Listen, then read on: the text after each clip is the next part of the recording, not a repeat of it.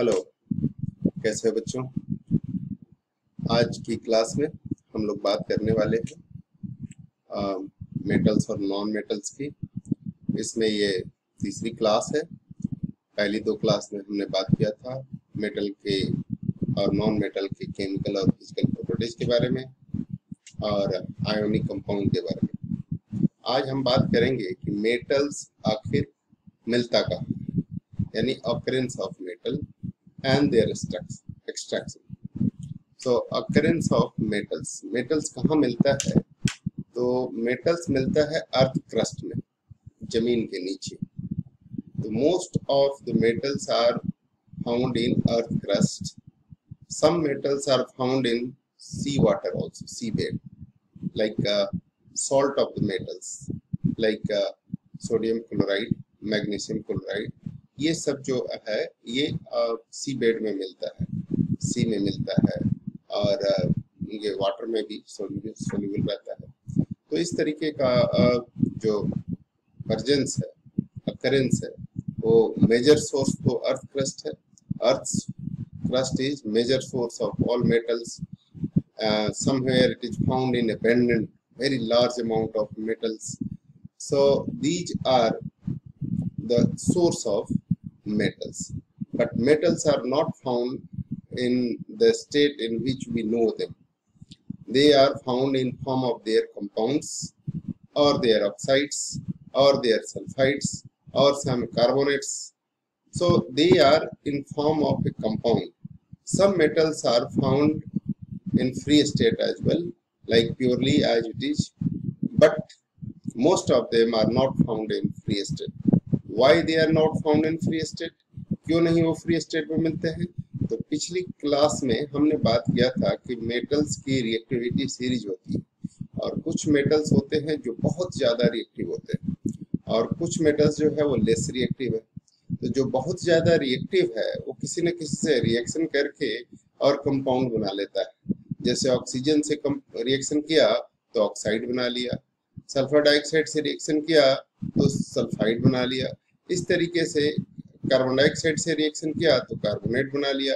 ऐसा कुछ इस फॉर्म में होता है और इस तरह से उनके फ्री स्टेट में होने की गुंजाइश बहुत कम होती है। लेकिन कुछ ऐसे भी मेटल्स हैं जो कि लेस रिएक्टिव है।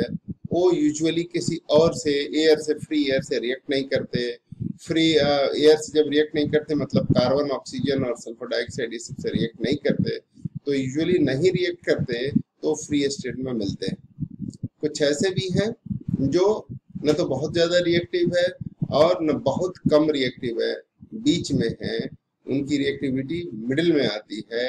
ऐसे एटम्स ऐसे मेटल्स सल्फाइड के फॉर्म में या कार्बोनेट के फॉर्म में मिलते हैं। तो मेटल के सल्फाइड और मेटल के कार्बोनेट के फॉर्म में मिलते हैं और कुछ उसमें से हो सकता है कि कहीं कहीं बहुत फ्री स्टेट में भी मिले। लेकिन इसकी गुंजाइश लगभग कम होती है क्योंकि रिएक्टिव तो भी रहते ही रहते हैं। जो लेस रिएक्टिव है या लो रिएक्टिविटी सीरीज़ में जो मेटल्स हैं लाइक गोल्ड है सिल्वर है प्लेटिनम है, ये सब फ्री स्टेट में मिल जाते हैं। और ये फ्री स्टेट में मिलते हैं इसलिए आप सुन रहे होंगे कि सोने की खान, सोने की खान वहाँ से गोल्ड मिलता है प्योरली गोल्ड मिलता है।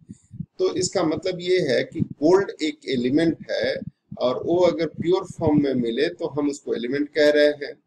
अगर ऐसा कोई मेटल है जो प्योर फॉर्म में नहीं मिल रहा है चाहे वो सल्फाइड के फॉर्म में मिल रहा है या कार्बोनेट के फॉर्म में मिल रहा है या ऑक्साइड के फॉर्म में मिल रहा है उसके तो उसको आ, मेटल उसमें से निकालने के लिए हमें बड़े सारे प्रोसेस करने पड़ते हैं। The process of in which the pure metals can be obtained from the, their ores, that is called extraction of metal. तो और क्या हुआ? एक शब्द हमने इसमें इस्तेमाल किया, और। और और और होता है कि मेटल का जो ऑक्साइड या कार्बोनेट जो मिल रहा है, इसके साथ साथ उसमें बड़ी सारी इम्प्यूरिटीज भी मिली होती है लाइक सॉयल सैंड और ये सब, जो एलिमेंट्स हैं, ये तो है ही है।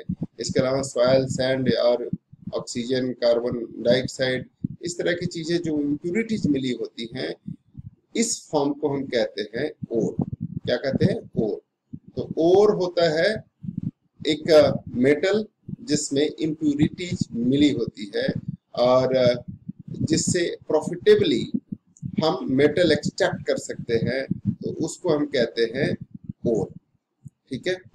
ओर में जो इम्प्यूरिटीज मिली होती हैं, उनको हम कहते हैं गैंग क्या कहते हैं? गैंग और ये पूरा जो चीज़ जो मिलता है अर्थ क्रस्ट के नीचे, जहाँ पे बहुत एवेंडेंट मात्रा में बहुत एवेंडेंट मेटल के ऑक्साइड्स या कार्बोनेट्स या सल्फाइड होते हैं, उसको हम कहते हैं मिनरल्स क्या कहते हैं? मिनरल्स तो मिनरल्स जो है वो अर्थ क्रस्ट के नीचे मिलता है उस मिनरल में जो मेटल के ऑक्साइड्स या कार्बोनेट या सल्फाइड हैं, या फ्री स्टेट में है तो उनके साथ कुछ इम्प्यूरिटीज मिली होती है। उन इम्प्यूरिटीज को हम कहते हैं गैंग और इम्प्यूरिटीज के साथ मेटल जो है, उनको हम कहते हैं प्योर फॉर्म में नहीं है तो उनको हम कहते हैं क्या? ओर और ओर से हम मेटल को एक्सट्रैक्ट करते हैं। जैसे एग्ज़ाम्पल के तौर पे एल्युमिनियम प्योर फॉर्म में नहीं मिलता। एल्युमिनियम के बॉक्साइट और जो है उसका नाम है बॉक्साइट ठीक है? तो बॉक्साइट की खाने होती है ना कि एल्युमिनियम की खाने होती है। There is a process in which we can extract aluminium from the bauxite. तो bauxite is an ore, aluminium is a metal, bauxite metal नहीं है, bauxite ore है। और उनमें से हम एल्युमिनियम एक्सट्रैक्ट करते हैं। तो जो एक्सट्रैक्ट करना है, जो उसमें से एल्युमिनियम निकालने की प्रोसेस है, इसको हम कहते हैं एक्सट्रैक्शन ऑफ़ मेटल्स तो एक्सट्रैक्शन ऑफ़ मेटल जैसा कि कहते हैं कि जैसी देवता वैसी पूजा तो हमें एक्सट्रैक्शन भी मेटल के नेचर के आधार पे अलग अलग प्रोसेस से करना पड़ता है। जो हाईली रिएक्टिव है, उनको अलग तरह से एक्सट्रैक्ट करना पड़ता है। जो मीडियम रिएक्टिव रिएक्टिव एलिमेंट है, उनका अलग प्रोसेस से करना होता है। जो लो रिएक्टिव है रिएक्शन करता ही नहीं है उसमें अगर कोई इम्प्योरिटीज मिली हुई है तो उसको निकालना भी बहुत कठिन काम है। वैसे तो प्योर फॉर्म में होता है लेकिन अगर कोई चीज़ मिली है तो उसको निकालना आ, आसान नहीं होगा क्योंकि रिएक्शन नहीं करता यूजली तो रिएक्शन नहीं करता तो उसको हम देखेंगे कि किस तरह के उसमें इम्प्योरिटीज मिली हैं और उस इम्प्योरिटीज को निकालने का क्या तरीका होता है। तो अभी तक हमने इस चैप्टर में चार बातें लगभग लगभग सीख ली है। एक की मिनरल्स क्या है? मिनरल्स कहाँ मिलता है? तो मिनरल्स जो है अर्थ क्रस्ट के नीचे मिलता है, ठीक है ना? अब इसकी डेफिनेशन एक तो मिनरल हो गया, दूसरा हो गया और जो इम्प्यूरिटीज मिली होती है मेटल प्योर फॉर्म में नहीं होता बट ऐसा मेटल के फॉर्म जिसमें से हम मेटल एक्सट्रैक्ट कर सकते हैं, उसको हम कहते हैं ओर और ओर में क्या मिला होता है? गैंग। गैंग का मतलब क्या हुआ? इम्प्यूरिटीज इम्प्यूरिटीज क्या हो सकता है? सैंड हो सकता है वाटर हो सकती है, या और कोई सल्फाइड या कार्बोनेट के आयंस हो सकते हैं। तो ये है ओर्स इम्प्योरिटीज और इम्प्योरिटीज जो है, उसको हम कहते हैं गैंग।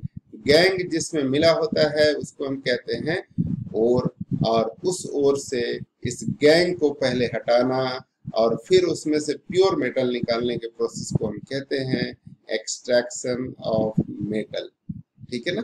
तो इसकी डेफिनेशन जरा लिख लें, उसके बाद आगे बात करते हैं कि आगे और क्या किया जा सकता है। मिनरल्स क्या होता है? द एलिमेंट और कंपाउंड एलिमेंट और compound which is found naturally in earth crust earth crust is called minerals. ठीक है? इनको मिनरल्स कहते हैं। जो अर्थ क्रस्ट में नेचुरली मिलता है, ठीक है? इसको हम कहते हैं मिनरल्स और उसके बाद बात आती है ओर की। और क्या होता है? सो so, ओर्स के बारे में कह सकते हैं। Those minerals minerals from which metal can be extracted can be extracted profitably are called ores Means, what you understand? There are some minerals in which metals cannot be extracted profitably. So those minerals from which metal can't be extracted profitably, they are not ores. They are not ores. They are minerals, but they are not ores. So each ore is a mineral, but all minerals are not ores. Right? Each ore is minerals, but all ores are all minerals are not ores. Right? So we are going to write this that uh, each remember this profitably. This is what we written here profitably. This must be profitably. It means each ores are minerals. But all minerals are not ores right? That is not this. That is those minerals from which metals can't be extracted profitably they are not called ores so two things we have learned that what is mineral what is ore then the third word is gang. what is gang? so gangue is impurities which is mixed Gang is gang is impurities mixed with minerals. Mixed with minerals. That is called gangues gangue is an impurities which is mixed with mineral so it is not only one. So gangs are impurities. Let write in bit gangues are impurities which is mixed with minerals impurities what type? Undesired undesired impurities which is mixed with minerals. What are those? Like sand soil water etc all these are impurities. Even water is also a kind of impurity which is mixed with metals. So these are to be removed so these are called gang. So next step is enrichment of ore. Enrichment of ores. What is enrichment? The removal of the removal of impurities, the removal of impurities, impurities means gangues from ores is called enrichment. Enrichment of ores right ये होता है। तो इसको हम remove करते हैं impurities को। तो इसको हम कहेंगे कि और से इम्प्योरिटीज को रिमूव किया लाइक गैंग को रिमूव किया तो इसको हम कहते हैं एनरिचमेंट तो गैंग को रिमूव करने के लिए क्या है? अगर सैंड है तो सैंड को अलग करने के लिए उसे धोल सकते हैं। मिट्टी लगी है सॉयल है तो उसको धोल सकते हैं है ना? आ, वाटर के वाटर लगा है उसमें बहुत सारा पानी है तो उसको सुखा सकते हैं। सुखाने के लिए आप गर्म कर सकते हैं या धूप में सुखा सकते हैं। तो इस तरीके का ये कुछ प्रोसेस है जिसको हम कहते हैं enrichment So before extraction of ore, you must have uh, there is a there is a process in which firstly treatment is enrichment of ores. First treatment is enrichment of ores. कि उसमें unwanted है उसमें मिट्टी बहुत सारा लगा है तो मिट्टी को धुलना पड़ेगा बालू को हटाना पड़ेगा पानी है तो सुखाना पड़ेगा और उसके बाद हम इसके एक्सट्रैक्शन का काम करते हैं तो एक्सट्रैक्शन का कार्य कौन कौन से करते हैं और क्या क्या काम होता है एक्सट्रैक्शन में, ये देखते हैं। एक्सट्रैक्शन ऑफ़ मेटल तो एक्सट्रैक्शन ऑफ़ मेटल कैसे होगा? एक्सट्रैक्शन ऑफ़ मेटल तो मेटल का एक्सट्रैक्शन डिपेंड करेगा कि उसका फ़िज़िकल और केमिकल प्रॉपर्टीज़ कैसा है।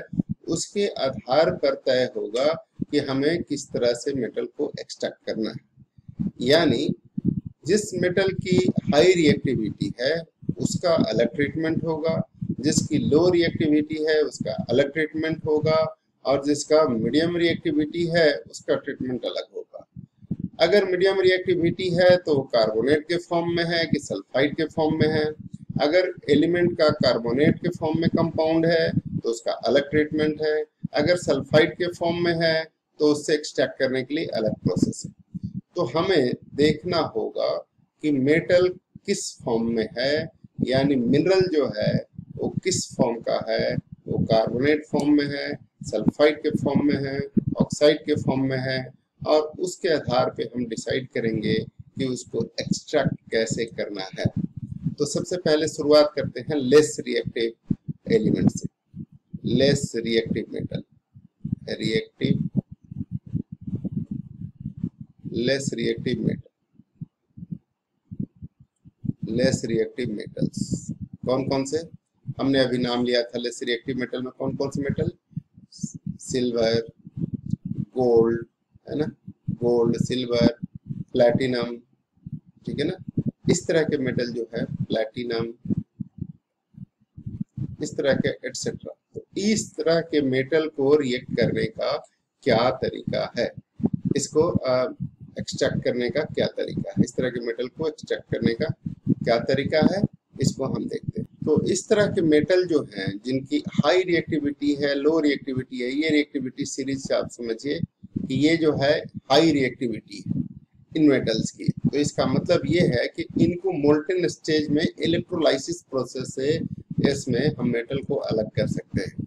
We know metals are good conductor of electricity तो मोल्टन स्टेज में अगर इलेक्ट्रोलाइसिस करेंगे तो ये जा कर के सेपरेट हो जाएँगे अपने ऑक्साइड से या कार्बोनेट से या जो भी होगा इसका। ठीक है? दूसरा, जब ये लेस मिडिल रिएक्टिविटी हो मीडियम रिएक्टिविटी हो तो इसके रिडक्शन करते हैं यूजिंग कार्बन ठीक है? और जैसे सिल्वर और गोल्ड और प्लेटिनम की बात की ये तो नेटिव स्टेट में इसी फॉर्म में यूजुअली मिलते हैं। लेकिन अगर इस फॉर्म में नहीं है तो ये सल्फाइड के फॉर्म में होंगे। तो अगर ये सल्फाइड के फॉर्म में होंगे तो वहाँ से हम कैसे इसको एक्सट्रैक्ट करेंगे?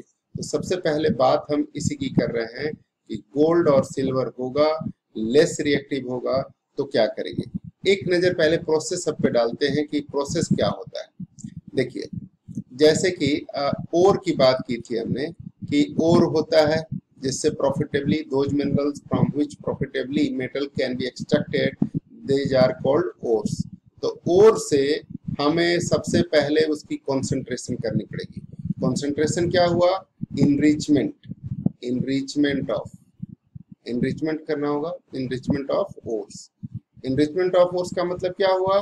कि जो गैंग है, जो अनडिजायर्ड इम्प्योरिटीज है, उसको हमें बाहर निकालना है। That is removal of nothing else but it is a removal of removal of impurities impurities from ores from ores ठीक है? तो ये है रिमूवल ऑफ़ इम्प्योरिटीज कैसी impurities undesired undesired impurities undesired impurities को रिमूव करना ही कॉन्सेंट्रेशन ऑफ़ ओर या उसी का नाम है इनरिचमेंट ऑफ़ ओर्स ठीक है? अब इसको हमने तीन कैटेगरी में बांटा। पहला कि metal of high reactivity metal of medium reactivity और मेटल ऑफ़ लो रिएक्टिविटी जो मेटल हाई रिएक्टिविटी का है, उसको इलेक्ट्रोलाइसिस करेंगे मोल्टेन स्टेज में और वहाँ से प्योर मेटल हमें मिल जाएगा। यानी जो हाई रिएक्टिव एलिमेंट्स हैं, उनके कंपाउंड में से हम उसको मोल्टेन स्टेज में लाने के लिए पहले हीट करेंगे हीट करने के बाद वो मोल्टेन स्टेज में आ जाएगा। उसके बाद उसमें इलेक्ट्रोलाइसिस प्रोसेस से हम प्योर मेटल इसमें से एक्सट्रैक्ट कर लेंगे। ये प्रोसेस क्या है, अभी थोड़ी देर में बताएँगे। जो मीडियम रिएक्टिविटी वाले होंगे, वो दो फॉर्म में मिलेंगे।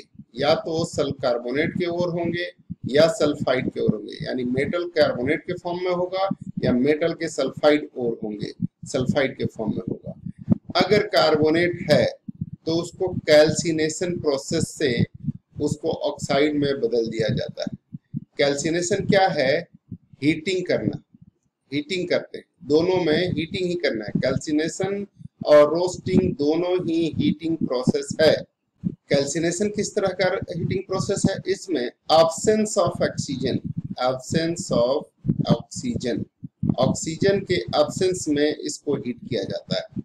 यानी ऐसी चेंबर में हीट किया जाता है, जिसमें बाहर से ऑक्सीजन का पहुँचना मुमकिन ना हो। और सल्फाइड ओर्स जो है, रोस्टिंग रोस्टिंग का मतलब क्या है? चिकन रोस्टिंग मिलता है, मोमोज, आप रोस्टेड मोमोज खाते हैं, ये सब क्या है? रोस्टेड। रोस्टेड कहाँ बनता है? ऑक्सीजन के परजेंस में हीट किया जाता है। तंदूर में चिकन को, या कुछ और चीज़ें हीट किया जाता है, उसको गर्म किया जाता है, रॉड में लगा करके या तंदूर का आप रोस्टेड पनीर खाते हैं रोस्टेड चिकन खाते हैं रोस्टेड मोमोज खाते हैं, ये सब क्या है? ऑक्सीजन के परजेंस में होता है।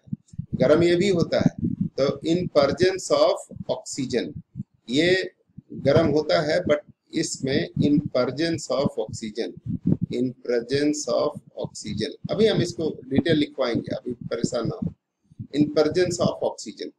तो ये रोस्टिंग होती है इन प्रेजेंस ऑफ़ ऑक्सीजन, और ये जो होता है कार्बोनेट तो ये हुआ इन एब्सेंस ऑफ़ ऑक्सीजन। दोनों ही करने पर, इसमें चूँकि कार्बोनेट में CO3 ऑलरेडी होता है तो CO3 होता है तो इसको में ऑलरेडी ऑक्सीजन के तीन मोलिक्यूल हैं तो इसमें ऑक्सीजन नहीं चाहिए, इसको रोस्ट करने के लिए नहीं चाहिए, है ना? और यहाँ पे चूँकि ऑक्सीजन नहीं है तो यहाँ पर हमें क्या करना चाहिए? हमें ऑक्सीजन देना चाहिए। इसमें सल्फाइड है। ऑक्सीजन के प्रजेंस में हम इसे हीट करेंगे तो सल्फ़र डाइऑक्साइड बन के बाहर निकल जाएगा। और यहाँ पे ऑक्सीजन ऑलरेडी है हीट करेंगे तो कार्बन डाइऑक्साइड बन के बाहर निकल जाएगा। और कार्बन डाइऑक्साइड बाहर निकलेगा तो बच जाएगा मेटल के ऑक्साइड क्योंकि अभी भी एक ऑक्सीजन रहेगा। और मेटल के ऑक्साइड जब मिल जाएगा तो फिर उसको फर्दर उसमें एक ऑक्सीजन ही तो है, फिर उसको हीट करेंगे तो ऑक्सीजन जो है वो बाहर निकल जाएगा और आपको प्योर मेटल मिल जाएगा। लेकिन उसको हीट करने के लिए चूँकि एक ऑक्सीजन है ऑक्सीजन साथ छोड़ने के लिए मेटल से किसी का साथ तो चाहिए। साथ छोड़ने के लिए किसी का साथ चाहिए तो कार्बन के प्रजेंस में हम उसे हीट करते हैं। कार्बन उस ऑक्सीजन को लेकर के कार्बन डाइऑक्साइड बना लेता है। तो reduction with help of carbon carbon reduction इसको कहते हैं। और भी रिडक्शन हो सकती है, लेकिन कार्बन रिडक्शन है, क्योंकि कार्बन के साथ हम उसे रिड्यूस करते हैं। और कार्बन के साथ उसे रिड्यूस करने में कार्बन डाइऑक्साइड बन के मेटल निकल जाता है और प्योर मेटल आपका फिर से मिल जाता है। तो प्योरिफिकेशन ऑफ़ मेटल्स की बात कर सकते हैं। कि कुछ और इम्प्योरिटीज अगर हो रह गई हो जरा सा तो उसको प्योरिफिकेशन प्रोसेस से हम उसको प्योरीफाई कर लेते हैं। ठीक है? तो ये सब प्रोसेस है उनकी जो मीडियम रिएक्टिव है। जो लेस रिएक्टिव है, जिनकी रिएक्टिविटी ऑलरेडी बहुत कम है, उसको क्या करना चाहिए? तो उसको या तो सल्फाइड और के फॉर्म में होगा और अगर सल्फाइड और के फॉर्म में है तो उसे ऑक्सीजन के प्रेजेंस में हीट करना चाहिए। और ऑक्सीजन के प्रेजेंस में हीट करने को क्या कहते हैं? रोस्टिंग कहते हैं, है ना? तो रोस्टिंग ऑक्सीजन के प्रेजेंस में दिमाग में बिठा लो। बड़े सारे बच्चों की कंफ्यूजन रहती है। और रोस्टिंग का डेफिनेशन कैल्सिनेशन में और कैल्सिनेशन का डेफिनेशन रोस्टिंग में लिख लेते हैं।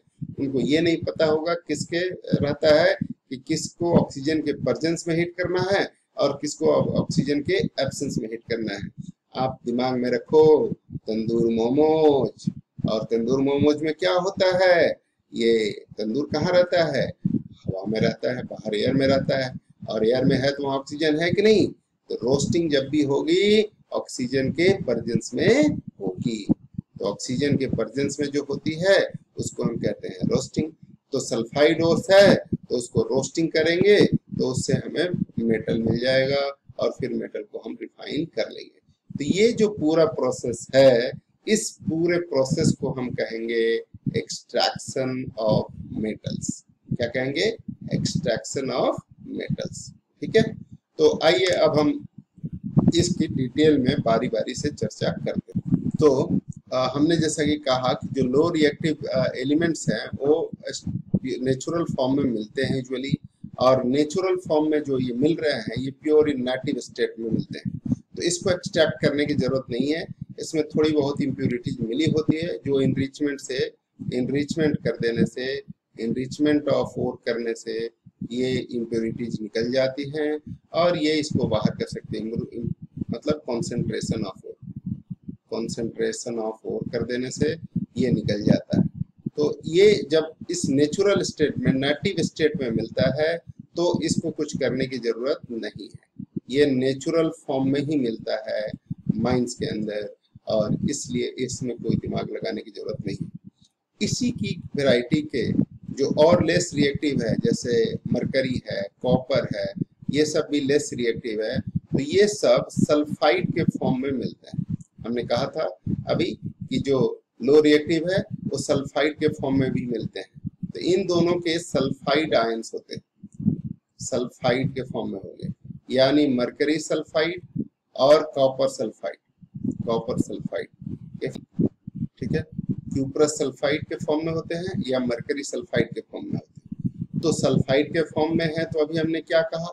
इनको इनरीच करने के लिए क्या करना होता है? ऑक्सीजन के प्रजेंस में इसको रोस्टिंग प्रोसेस में जाना होता है। रोस्टिंग करेंगे। और रोस्टिंग करेंगे तो क्या मिल जाएगा? इसके ऑक्साइड मिल जाएँगे। तो आइए इसको लिखते हैं और इसको समझते हैं। ये जो मरकरी है H G S mercury sulphide, इसको हम ऑक्सीजन के प्रजेंस में हीट करते हैं और हीट करने से मिले हीट करने से मिलेगा क्या? तो mercury oxide plus sulphur dioxide ये गैस है जो रिलीज़ होगी, इसमें से निकलेगा, ये भी गैस है और ये एयर से लेते हैं oxygen from air from air air से हवा में, तंदूर आप देखे होंगे। जहाँ तक मार्केट में जब आप मोमोज खाने जाते हैं तो इनका एक तंदूर होता है वो बाहर हवा में ही रहता है। तो उस हवा में से ऑक्सीजन लेते हैं। ये है मरकरीस सल्फाइड मरकरीस सल्फाइड ठीक है? और ये मरकरी मर्क्यूरस ऑक्साइड इसको मर्क्यूरस ऑक्साइड बोलते हैं। ऑक्साइड ठीक है? ये सॉलिड होता है। ये भी सॉलिड है, ये गैस है इंफॉर्मेशन आप लिख सकते हैं सल्फ़र डाइऑक्साइड गैस। तो ये जब हम गर्म करते हैं तो इससे क्या मिल जाता है? हमें मरकरी सल्फाइड मिल जाता है और उस मरकरी ऑक्साइड मिल जाता है सॉरी मरकरी ऑक्साइड मिल जाता है और इसको फर्दर हम अगर हीट करें तो इससे हमें मरकरी मिल जाए फर्दर हीट करने का मतलब ये हुआ कि एचजीओ जो है, इसको फिर से हीट करते हैं। तो मिल जाता है। एच जी प्लस ओ इसको बैलेंस लिख दें। देखिए ऑक्सीजन यहाँ दो है ऑक्सीजन दो है सल्फ़र एक है सल्फ़र एक है, लेकिन इधर ऑक्सीजन दो और एक तीन है। तीन ऑक्सीजन है। तो हम यहाँ पे अगर दो से मल्टीप्लाई करते हैं तो दो दो चार ऑक्सीजन हो जाएँगे और मरकरी भी दो हो जाएगा। तो मरकरी दो होने से दो से मल्टीप्लाई करेंगे तो सल्फ़र भी दो हो जाएगा। तो इसका मतलब है कि दो से सल्फ़र को मल्टीप्लाई कर देते हैं तो चार ऑक्सीजन और दो से यहाँ मल्टीप्लाई कर देंगे तो चार और दो, छह ऑक्सीजन तो इधर तीन से मल्टीप्लाई कर देते तो छह ऑक्सीजन हो गया. दो सल्फ़र और दो मरकरी चाहिए तो इधर दो से मल्टीप्लाई कर देंगे. तो ये पूरा बैलेंस इक्वेशन हो जाएगा. और फिर यहाँ पर दो ऑक्सीजन चाहिए तो ये दो से मल्टीप्लाई करेंगे. दो ये मरकरी और ऑक्सीजन ये रिलीज़ हो जाएगा, इसमें से निकल जाएगा और ये बच जाएगा प्योर मरकरी तो इस तरीके के प्रोसेस से हम लो रिएक्टिव मेटल्स में से प्योर मेटल एक्सट्रैक्ट कर सकते हैं। ठीक है? तो ये आप समझ गए कि हमें मर, मरकरी सल्फाइड और मर्क्यूरस सल्फाइड इसको कह सकते हैं। और मर्क्यूरस सल्फाइड जो है वो ऑक्सीजन के साथ रिएक्शन किया। अस में मर्क्यूरिक सल्फाइड ये होगा। मर्क्यूरिक में दो होता है और वैलेंसी तो ये मर्क्यूरिक सल्फाइड हुआ पूरा नाम इसका हो गया। ऐसे लिख सकते हैं, मरकरी के बजाय मर्क्यूरिक, क्यूरिक सल्फाइड। तो यहाँ पर भी ये मर्क्यूरिक होगा। मर्क्यूरिक सल्फ ऑक्साइड, ठीक है? मर्क्यूरस में वैलेंसी होती है एच जी की प्लस वन जब अस हो, और जब इक हो, तब इसकी वैलेंसी होती है प्लस टू तो इस तरीके से यहाँ पे चूँकि ऑक्साइड दो है, दो वैलेंसी है, सल्फाइड की भी दो वैलेंसी है तो दो वाले होंगे, यानी इक होगा। तो मर्क्यूरिक सल्फाइड होगा, यहाँ पे भी मर्क्यूरिक ऑक्साइड होगा। बात याद रखिए, ठीक है ना? मर्क्यूरस में एक होता है। तो ऐसी स्थिति में आपको ये दिमाग में रखना चाहिए। तो ये हो गया। इसी तरह से कॉपर की बात की जाए तो कॉपर में क्या होगा? अब देखो, यहाँ पे लिख देता हूँ, यहाँ पे जगह है। कॉपर का Cu2S ये हो गया। इस कॉपर की भी वैलेंसी वन तो Cu2S प्लस ओ टू अब ये रिएक्शन कराएँगे तो ये बनेगा Cu2O है ना? प्लस SO2 ये रिएक्शन में क्या करेंगे बैलेंस करना चाहिए। आप करिए बैलेंस तो ये सिमिलर एक्सप्रेशन है, इसलिए ज़्यादा कोई दिक्कत इसमें भी नहीं है। ये आप इसको दो से मल्टीप्लाई कर दीजिए तो चार हो जाएगा। दो से मल्टीप्लाई कर देंगे तो छः हो जाएगा। इसको तीन से मल्टीप्लाई कर दीजिए। ये चार कॉपर हो गए तो दो से फर्दर इस कॉपर ऑक्साइड को क्यूप्रिक सल्फाइड के साथ गर्म कर देते हैं तो ये कॉपर मिल जाता है और सल्फ़र डाइऑक्साइड गैस मिल जाती है। यानी इसी के साथ जो ऑक्साइड बनते जाएँगे, वो कॉपर सल्फाइड के साथ फिर रिएक्शन करेंगे और ये सल्फ़र और ऑक्सीजन मिलकर सल्फ़र डाइऑक्साइड गैस रिलीज़ हो जाएगी और कॉपर निकल के आ जाएगा। तो इसको भी बैलेंस करें। तो इसको बैलेंस कैसे करेंगे? ऑक्सीजन यहाँ पे दो है तो इसको दो से मल्टीप्लाई कर देंगे दो ऑक्सीजन हो जाएगा एक सल्फ़र हो जाएगा यहाँ से निकल आएगा लेकिन कॉपर हो गए चार और दो छः तो सिक्स कॉपर हो गए और सल्फ़र डाइऑक्साइड गैस निकल गया। इस तरीके से इसका एक्सट्रैक्शन कर सकते हैं ठीक है? तो आपने देख लिया कि गोल्ड और सिल्वर तो नेचुरली फ्री स्टेट में ही मिलते हैं लेकिन आ, अगर कोई और है जैसे कि कॉपर है मरकरी है ये भी लेस रिएक्टिव मेटल्स हैं अगर ये सल्फाइड के फॉर्म में हैं तो इनको हमें क्या करना है? इनको पहले ऑक्साइड के फॉर्म में बदलना है और ऑक्साइड से फिर प्योर मेटल निकालना है। इसमें भी दो बातें हैं। अगर मरकरी था तो मरकरी ऑक्साइड में मर्क्यूरिक ऑक्साइड में हम क्या किए? उसको सिर्फ़ हीट कर दिए तो उसमें से ऑक्सीजन रिलीज़ हो गया और मरकरी बच गया। लेकिन कॉपर ऑक्साइड में ऐसा नहीं किया।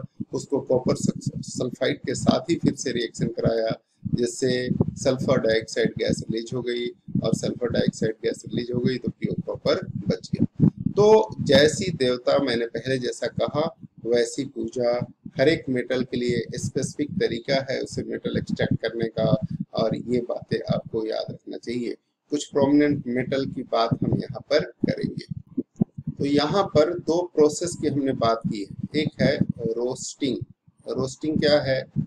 रोस्टिंग एक प्रोसेस है और दूसरा है कैल्सिनेशन तो रोस्टिंग क्या है? तो process of conversion conversion of sulphide और सल्फाइड और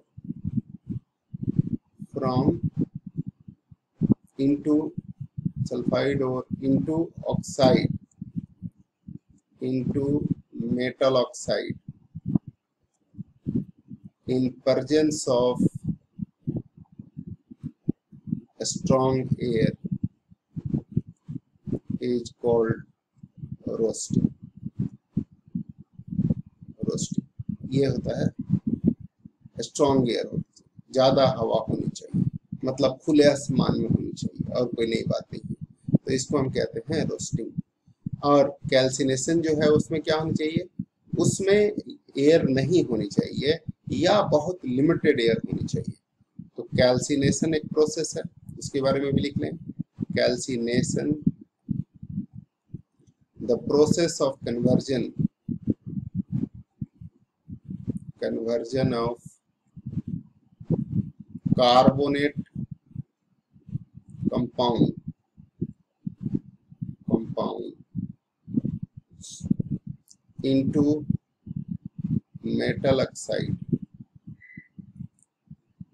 metal carbonate compound यहाँ भी चाहे तो आप मेटल सब लिख सकते हैं। Metal carbonate compound into metal oxide compound in presence of limited air presence of limited air limited air और even in absence of air but absence of air तो होता नहीं है यूजुअली आप जब तक एटमोसफेयर में रहेंगे तो एयर का एबसेंस कहाँ रहेगा? ना जब आप तभी एब्सेंस ऑफ़ एयर होगा जब आप कहाँ जाएँगे? स्पेस में जाएँगे। ठीक है ना? Limited air is called calcination calcination ठीक है? तो थोड़ी बहुत एयर तो इधर उधर से पास हो ही जाएगी।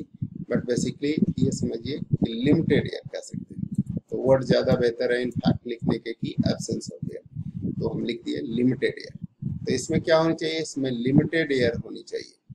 और इसमें क्या होनी चाहिए? स्ट्रॉन्ग प्रजेंस ऑफ़ एयर होनी चाहिए, है ना? तो स्ट्रॉन्ग प्रजेंस ऑफ़ एयर होनी चाहिए तो उसको हम कहेंगे रोस्टिंग और अगर लिमिटेड एयर है, यानी एब्सेंस ऑफ़ एयर है तो उसको हम कहते हैं कैल्सिनेशन तो ये दो प्रोसेस है। पीछे जो लो रिएक्टिव मेटल्स हैं उनसे हमने निकाला है मेटल के ऑक्साइड बनाने के लिए। हमने एयर के प्रजेंस में स्ट्रॉन्ग एयर के प्रजेंस में हमने इसको हीट किया है और हीट करने से इसमें से सल्फ़र डाइऑक्साइड गैस निकल गई। तो यहाँ पे हीट है। हीट का सिंबल हम देते हैं क्या? तो ये डेल्टा डेल्टा का मतलब हीट किया गया। तो हीट करने पे ये ऐसा बनता है। ठीक है? यहाँ पे हीट की ज़रूरत नहीं है। ये आपस में रिएक्शन ही कर लेते हैं। ठीक है? इससे कॉपर निकल जाएगा और ये सल्फ़र डाइऑक्साइड लेकिन नीचे जो है, जिसमें हमने एग्ज़ाम्पल लिया है, ये मरकरी का, इसमें पहले भी हीट किया, बाद में भी हीट किया, दोनों हीट ही किया है। और इस तरह से ये मिल गया आपको मरकरी तो ये दो बातें आपको अच्छी तरह से समझ में आ गई होगी मेरे ख्याल से कि मरकरी के सल्फाइड हो तो उसको पहले हीट करने से मरकरी के ऑक्साइड मिलते हैं, और फिर उसको फर्दर हीट करने से क्या मिल जाता है? मरकरी उसी तरह से कॉपर के अगर सल्फाइड हो तो उसको पहले हीट किया जाता है तो उस प्रोसेस को क्या कहेंगे? रोस्टिंग और हीट करने से क्या मिल जाएगा? मरकरी के ऑक्साइड मिल जाएँगे। और मरकरी के ऑक्साइड मिल जाने के बाद फिर वो मरकरी के ऑक्साइड जो कुछ बनेंगे, वो मरकरी के सल्फाइड के साथ सॉरी कॉपर के ऑक्साइड मिलेंगे। कॉपर के सल्फाइड अगर हो तो उसे हीट करने के बाद कॉपर के ऑक्साइड मिल जाते हैं। और कॉपर के ऑक्साइड फिर फर्दर रिएक्शन करके कॉपर के सल्फाइड के साथ सल्फ़र डाइऑक्साइड गैस रिलीज़ करता है और प्योर कॉपर बच जाता है। तो इस तरह से मरकरी के और कॉपर के सल्फाइड जो है कॉपर कई बार फ्री स्टेट में मिलता है। इसलिए हम कहते हैं कि कॉपर की माइंस होती है, ठीक है ना? कॉपर की माइंस होती है गोल्ड की माइंस होती है। तो ये इनकी माइंस है पर्टिकुलरली क्योंकि उसमें फ्री स्टेट में मिलता है। लेकिन कई बार कॉपर फ्री ना भी मिले तो सल्फाइड के फॉर्म में मिलेगा। सल्फाइड के फॉर्म में मिलेगा तो हम उसको एक्सट्रैक्ट कर लेंगे। अब बात आती है कि मीडियम रिएक्टिव एलिमेंट्स अगर हों तो उनका कैसे करेंगे? तो मीडियम रिएक्टिव एलिमेंट्स में पहले देखें कौन कौन से आते हैं। ये है जिंक है फेरस है लेड है, ये सब। कॉपर जो है, वो दोनों में इसलिए लिखा है मीडियम रिएक्टिव के सल्फाइड के फॉर्म में मिलता है और प्योर भी मिलता है। प्योर भी मिलता है, इसलिए इसको कहेंगे क्या? लेस रिएक्टिव है। और अगर सल्फाइड के फॉर्म में मिलता है तो इसको मीडियम रिएक्टिव की कैटेगरी में भी रख सकते हैं। ठीक है ना? तो जिंक आयरन लेड ये सब मीडियम रिएक्टिव है और मीडियम रिएक्टिव एलिमेंट्स हैं। इनको कैसे करेंगे? तो इनको करने के लिए हम यहाँ पे कॉपर को चूँकि रिडक्शन किया है रिड्यूस किया है, देखो कॉपर सल्फाइड के साथ रिड्यूस किया है ना दोबारा, इसलिए इनको रिडक्शन वाले प्रोसेस में रखा गया है। कि इसमें से हमने कॉपर रिड्यूस किया और रिड्यूस कैसे किया? तो फिर हमने कॉपर सल्फाइड के साथ रिएक्शन किया है। तो ये रिड्यूस हो गया है कॉपर तो चूँकि ये रिडक्शन प्रोसेस है, इसलिए इसको इस कैटेगरी में भी रखा गया है। दो वजह है और एक तो कि ये दोनों स्टेट में मिलता है, दूसरा इसको रिडक्शन प्रोसेस से कॉपर निकालते हैं, इसलिए इसको रिडक्शन यूजिंग कार्बन ये है। तो ऐसे भी रिडक्शन हो सकता है कार्बन के साथ।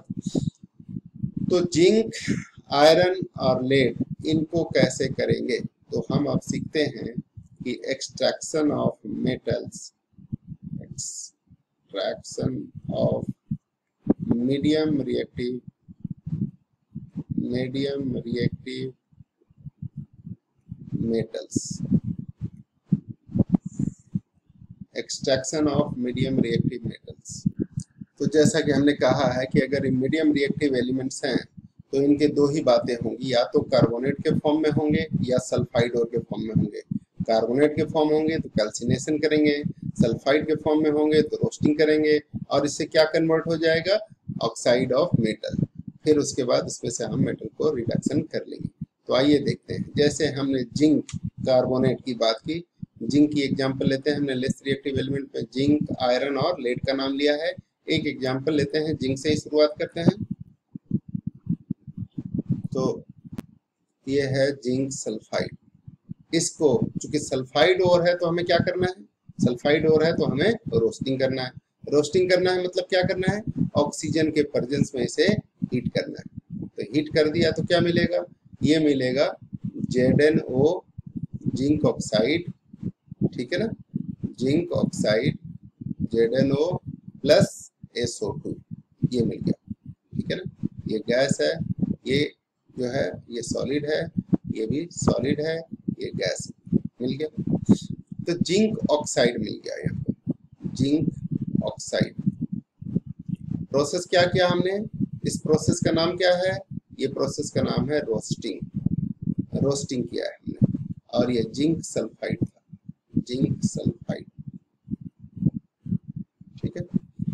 अगर मान लीजिए कि जिंक का सल्फाइड और ना हो करके कार्बोनेट और होता जेड एन सीओ थ्री अगर ये होता Z N CO three carbonate, ये भी सॉलिड स्टेट में होता है। तब इसको हीट करते और इसमें हम हीट करते तो ऑक्सीजन अलग से नहीं डालते। तो ऑक्सीजन की लिमिटेड जो उसमें ऑक्सीजन है लिमिटेड ऑक्सीजन तो सिर्फ़ हीट करेंगे। तो हीट करेंगे तो इस प्रोसेस को क्या कहेंगे? कैल्सिनेशन ठीक है ना? इसमें ऑक्सीजन डालने की ज़रूरत नहीं है। तो ये लिमिटेड ऑक्सीजन तो इससे बनेगा जेड एन ओ फिर zinc oxide plus CO two तो ये मिल गया, ये भी गैस है, ये सॉलिड है। तो दोनों ही प्रोसेस से आपको क्या मिल गया? जिंक ऑक्साइड मिल गया। अगर कार्बोनेट है तो कैल्सिनेशन प्रोसेस से, और अगर सल्फाइड है तो रोस्टिंग प्रोसेस से आपको मिल गया है ये रोस्टिंग से, और ये कैल्सिनेशन से आपको मिल गया है जिंक के ऑक्साइड दोनों स्थिति में जिंक के ऑक्साइड मिल गए और जिंक के ऑक्साइड मिलने से ये है जिंक कार्बोनेट कार्बोनेट तो या तो कार्बोनेट होगा या सल्फाइड होगा. कार्बोनेट होगा तब भी आपको ये हीट करना है और ऑक्साइड होगा तब भी हीट करना है. अगर सल्फाइड होगा तब भी हीट करना है. सल्फाइड है तो ऑक्सीजन के प्रेजेंस में हीट करना है और अगर कार्बोनेट है तो ऑक्सीजन अलग से डालने की ज़रूरत नहीं है, उसे हीट करना है. दोनों ही करने में, दोनों ही चीज़ें करने में क्या मिल रहा है? दोनों ही चीज़ें करने के बाद आपको मिल रहा है जिंक ऑक्साइड। ये मिल रहा है जिंक ऑक्साइड। और जिंक ऑक्साइड को हमने यही प्रोसेस कहा था कि दोनों ही चाहे रोस्टिंग करो, चाहे कैल्सिनेशन करो, आपको मिल जाएगा, ये देखो, ये मिल जाएगा मेटल का ऑक्साइड तो वहाँ जिंक है तो जिंक का ऑक्साइड मिल गया। अब इसको क्या करना है? इसको रिड्यूस करना है। तो रिड्यूस कैसे करोगे ताकि मेटल मिल जाए? तो उसके लिए प्रोसेस है रिड्यूस करने की। क्या प्रोसेस है? तो हमने कई सारे प्रोसेस का नाम लिया, लेकिन सबसे पहले कहते हैं कार्बन रिडक्शन तो जेड और कार्बन के साथ इसको और हीट किया जाए तो ये जिंक मिल जाएगा और CO2 गैस रिलीज़ हो जाएगी। तो CO2 गैस रिलीज़ हो जाएगी इसमें से। ठीक है? और जिंक मिल जाएगा, ये हो गया मेटल अब इसको प्यूरिफाई कर सकते हैं। वैसे जिंक आपको मिल गया है और ये कार्बन डाइऑक्साइड गैस रिलीज़ हो गया। ये गैस है जो रिलीज़ हो जाएगा। ये कार्बन है। कार्बन रिडक्शन इसलिए कहते हैं। ये जिंक ऑक्साइड है और कार्बन के प्रजेंस में इसको हीट किया गया। तो कार्बन डाइऑक्साइड कार्बन ऑक्सीजन को साथ लेकर के निकल लिया और जिंक वहाँ पे रह गया। तो इसको हम कहते हैं रिडक्शन तो फिर हमने मेटल ऑक्साइड से क्या कर दिया? रिडक्शन और रिडक्शन करने के बाद आपको मेटल मिल गया यहाँ पर कार्बन सॉरी यहाँ पे कार्बन डाइऑक्साइड नहीं कार्बन मोनोऑक्साइड ही निकलेगा, क्योंकि एक कार्बन एक ऑक्सीजन मिलके कार्बन मोनोऑक्साइड बनाता है। ये भी गैस ही है, लेकिन एक कार्बन मोनोऑक्साइड बनेगा ठीक है ना? इसको कहते हैं कार्बन मोनोऑक्साइड मोनो का मतलब एक डाई का मतलब दो तो कार्बन मोनोऑक्साइड निकलता है, ठीक है? चलिए तो ये आप थोड़ा ध्यान रख लीजिएगा। अब बता मेटल ऑफ़ हाई रिएक्टिव तो हाई रिएक्टिव के लिए क्या करें? ये जो हाई रिएक्टिव है, जैसा कि हमने पहले ही कहा, ये हाई रिएक्टिव वाले जो मेटल हाई रिएक्टिव के हैं, इनको इलेक्ट्रोलाइसिस करना है अब मोल्टेन और यानी इसको पहले पिघलाना है, इसको मोल्टेन स्टेज में लाना है, जो सॉलिड फॉर्म में होता है, उसको मोल्टेन स्टेज में लाना है, फिर उसको इलेक्ट्रोलाइसिस करना है। तो कैसे करेंगे? आइए उसको सीखते हैं। तो हम अब कर रहे हैं बात किसके? तो एक्सट्रैक्शन ऑफ़ एक्सट्रैक्शन ऑफ़ बात कर रहे हैं हम। Extraction of high reactive metals इसकी बात कर रहे हैं। चूँकि ये हाई रिएक्टिव मेटल्स हैं तो इनको कार्बन से रिडक्शन नहीं किया जा सकता। कार्बन से रिडक्शन इसलिए नहीं किया जा सकता कि कार्बन इसके साथ जो इलेक्ट्रॉन का ट्रांसफ़र होता है, कार्बन में इलेक्ट्रॉन लेने और देने दोनों की कैपेसिटी बहुत कम होती है। कार्बन न तो इलेक्ट्रॉन लेना चाहता है, न देना चाहता है, क्योंकि इसके आउटर मोस्ट में चार इलेक्ट्रॉन है। तो ये किसी कंपाउंड के साथ इजिली मेटल के ऑक्साइड के साथ में, जो मेटल के ऑक्साइड होंगे या कोई और फॉर्म होगा क्लोराइड होंगे उनमें से ये ऑक्सीजन निकालने में कामयाब नहीं होता। उसमें से क्लोरीन निकालने में भी कामयाब नहीं होगा। क्योंकि क्लोराइड है मेटल के क्लोराइड है, उसमें से क्लोरीन ये नहीं निकाल पाता। सी सी एल कोई कंपाउंड यूजली नहीं बनता। ठीक है ना? तो इस तरीके से कार्बन रिडक्शन यहाँ पे आसान नहीं है और पॉसिबल भी नहीं है। दूसरा ऑक्सीजन से रिडक्शन करें तो ऑक्सीजन की एफिनिटी जो होती है, वो मेटल्स के साथ और ज़्यादा होती है। इसलिए यहाँ ऑक्सीजन से भी रिडक्शन नहीं किया जा सकता। तो यहाँ पे मेटल को मोल्टेन स्टेज में ला करके और इलेक्ट्रोलाइसिस प्रोसेस से रिडक्शन किया जाता है। इलेक्ट्रोलाइसिस प्रोसेस क्या है? पहले तो इसको जो सॉल्यूशन है, इसको जो मेटल के क्लोराइड है, उसको मोल्टेन स्टेज में लाया जाता है हीट करके।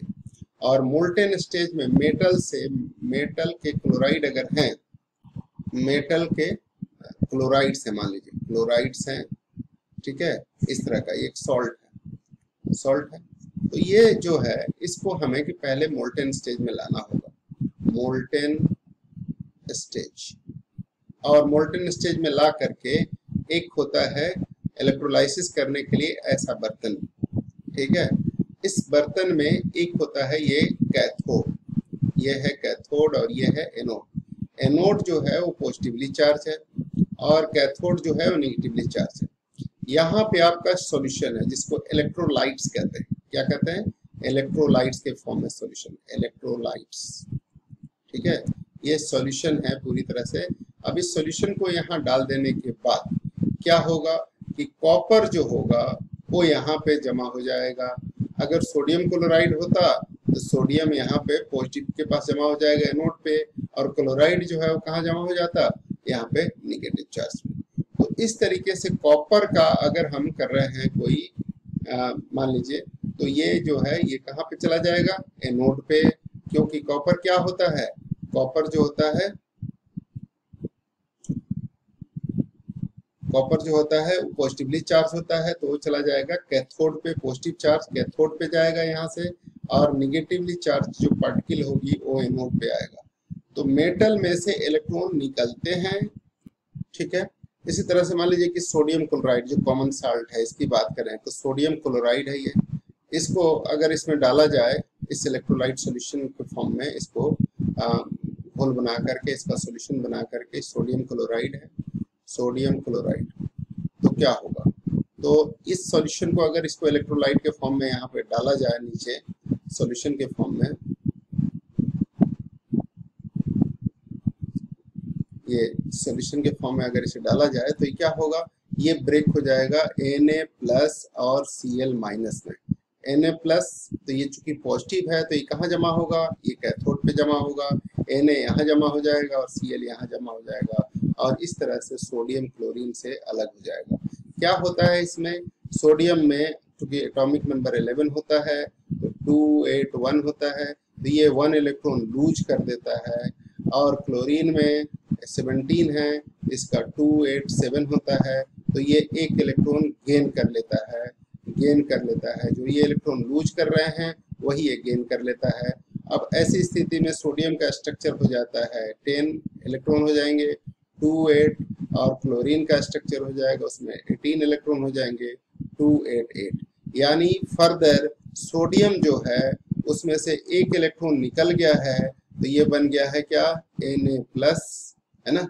सोडियम में से एक इलेक्ट्रॉन निकल गया है तो ये हो गया एन प्लस और ये क्लोरीन में से माइनस का साइन दे दें। एक इलेक्ट्रॉन निकल गया है तो ये हो गया एन ए प्लस और क्लोरीन में एक इलेक्ट्रॉन जुट गया तो इसलिए हो गया सी एल माइनस तो इस तरीके की जो चीज़ें होती है, ये हाई रिएक्टिव जो मेटल्स होते हैं, उनके सॉल्ट के फॉर्म में होते हैं यूजली और उनको निकालने के लिए, उनमें से मेटल एक्सट्रैक्ट करने के लिए हम इलेक्ट्रोलाइसिस प्रोसेस का सहारा लेते हैं।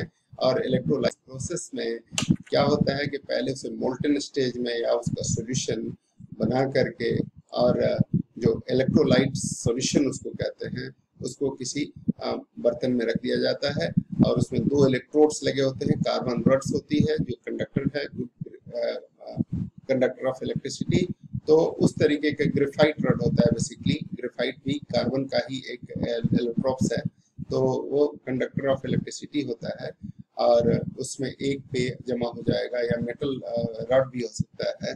एक पे जमा हो जाएगा सोडियम और एक पे जमा हो जाएगा क्लोरीन सोडियम चूँकि पॉजिटिवली चार्ज है तो कैथोड पे जमा होगा और क्लोरीन चूँकि निगेटिवली चार्ज है तो वो एनोड पे जमा हो जाएगा और उस रड पे जो जमा हो जाएगा, उसको फिर रड को बाहर निकाल करके और उसमें से फिर हम सोडियम और क्लोरीन को अलग अलग कर सकते हैं। तो इस तरीके से ये मेटल का एक्सट्रैक्शन होता है।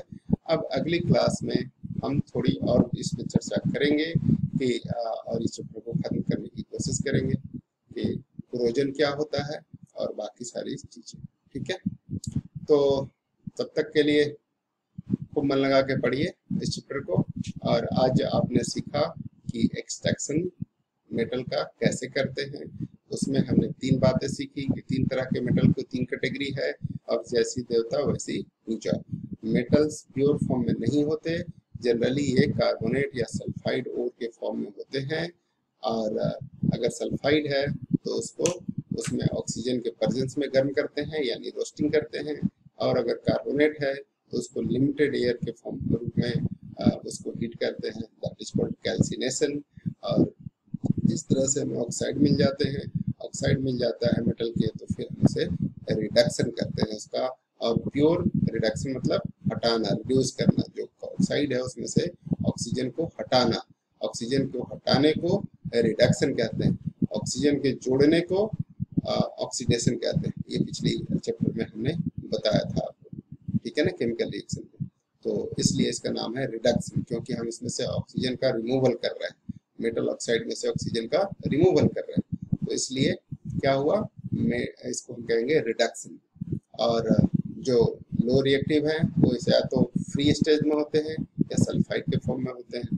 तो सल्फाइड के फॉर्म में चूँकि होते हैं तो रोस्टिंग करके फिर वहाँ भी हम मेटल को मेटल ऑक्साइड में कन्वर्ट करते हैं और मेटल ऑक्साइड से फिर रिडक्शन करके मेटल में कन्वर्ट कर लेते हैं। जो हाई रिएक्टिव एलिमेंट्स है, उनके मोल्टन स्टेज में उनके सॉल्ट जो होते हैं क्लोराइड सॉल्ट होते हैं यूजुअली उसको हम क्या करेंगे, उसको मोल्टन स्टेज में ला करके और फिर कैथोड और एनोड की मदद से इलेक्ट्रिसिटी उसमें पास करते हैं, उस इलेक्ट्रोलाइट सोल्यूशन में और इलेक्ट्रिसिटी पास करने से जो उसके बीच का बॉन्ड है सोडियम और क्लोरीन के बीच में, वो ब्रेक हो जाता है और ब्रेक होने के बाद सोडियम कटाया, जो है वो कैथोड पे जब के जमा हो जाता है और कटायंस बनाता है और इसलिए कैथोड पे जाके जमा हो जाता है। ध्यान रहे कटायंस का मतलब पॉजिटिव चार्ज हुआ। और कैथोड का मतलब जो निगेटिव चार्ज होता है, ध्यान रहे। तो कटायंस जो है, वो कैथोड पे जाके जमा हो जाता है और एनाइंस जो है, वो एनोड पे जाके जमा हो जाता है। एनाइंस जो है, वो निगेटिवली चार्ज होता है, ठीक है ना? तो निगेटिवली चार्ज होता है, इसलिए पॉजिटिव पे जाकर के जमा होता है। और सोडियम जो है पॉजिटिवली चार्ज होता है तो निगेटिव पे जाके जमा होता है, क्योंकि अट्रैक्शन होती है फोर्स ऑफ़ अट्रैक्शन होती है between opposite charges and that is why ये जाकर के एक दूसरे पे जमा हो जाते हैं। तो इस तरीके से सोडियम और क्लोरीन अलग अलग हो गए। तो हाई रिएक्टिव मेटल्स को करने का जो प्रोसेस है, उसमें से मेटल से एक्सट्रैक्ट करने का जो प्रोसेस है, उस प्रोसेस को इलेक्ट्रोलाइसिस कहते हैं। तो आई होप कि आपको ये अच्छी तरह से समझ में आ गया होगा। अगली क्लास में फिर मुलाकात होती है, और उस क्लास में इस को खत्म करने की कोशिश करेंगे। ठीक है?